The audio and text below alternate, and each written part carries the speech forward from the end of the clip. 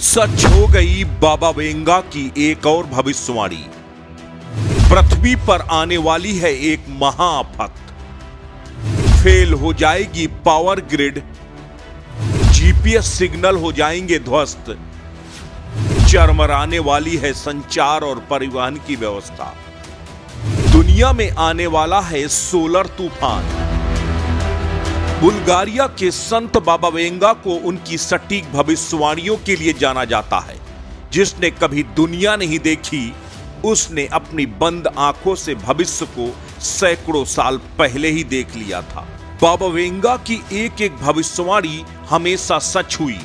9/11 के आतंकी हमलों की भविष्यवाणी हो, फुकुशिमा परमाणु आपदा हो, या फिर आईएसआईएस का उदय।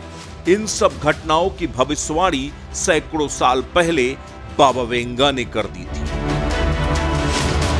वर्ष पाँच हज़ार उन्यासी में दुनिया के अंत का बाबा को पूर्वाभास हो गया था। दुनिया के क्रमिक खात्मे की भविष्यवाणी बाबा वेंगा ने बहुत पहले कर दी थी। 2023 में सौर तूफ़ान, यानी सोलर फ्लेयर्स की भविष्यवाणी बाबा वेंगा ने कई साल पहले की थी। जो अब सच होने जा रही है। बाबा वेंगा की भविष्यवाणी पर वैज्ञानिकों ने भी मुहर लगा दी है।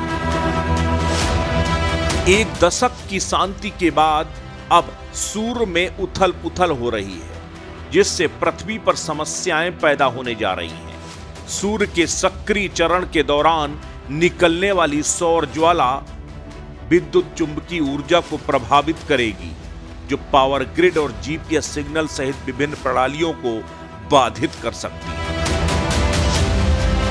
यूँ तो वैज्ञानिकों का मानना है कि सोलर मैक्सिमम के रूप में पहचाने जाने वाले एपिसोड हर 11 साल में होते हैं और अतीत में बहुत चिंताजनक नहीं रहे।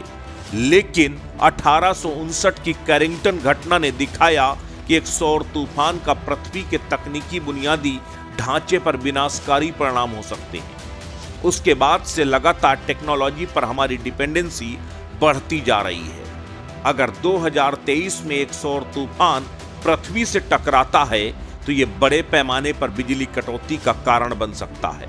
हमारी संचार और परिवहन व्यवस्था चरमरा सकती है, जिसकी वजह से सामाजिक अराजकता और वित्तीय संकट उत्पन्न हो सकते हैं। हमारी रोज़मर्रा की ज़िंदगी प्रभावित हो सकती है। हर तरफ़ तबाही आ सकती है। 2023 के लिए बाबा वेंगा ने कई और खतरनाक भविष्यवाणियाँ की हैं। बाबा वेंगा के मुताबिक 2023 में एक बड़ा देश जैविक परीक्षण करेगा। संभावित प्रयोगशाला रिसाव का जोखिम और जैविक हथियार कन्वेंशन का उल्लंघन करेगा, जो भविष्य में किसी बड़े खतरे की वजह बनेगा। बाबा वेंगा ने एक एशियाई देश के परमाणु ऊर्जा संयंत्र में विस्फोट की भी भविष्यवाणी की है। जिससे एशिया में जहरीले बादल छा जाएँगे और गंभीर बीमारियों का यह इलाका शिकार हो जाएगा। प्रयोगशालाओं में मानव का जन्म और एलियन का हमला 2023 की वो महत्वपूर्ण भविष्यवाणियाँ हैं जो बाबा वेंगा पहले कर चुके हैं। पूर्व की भविष्यवाणियों की अगर बात की जाए तो बाबा वेंगा की अब तक की ज़्यादातर भविष्यवाणियाँ सच साबित हुई हैं। ऐसे में आने वाले समय में पृथ्वी पर कोई बड़ा संकट आने जा रहा है।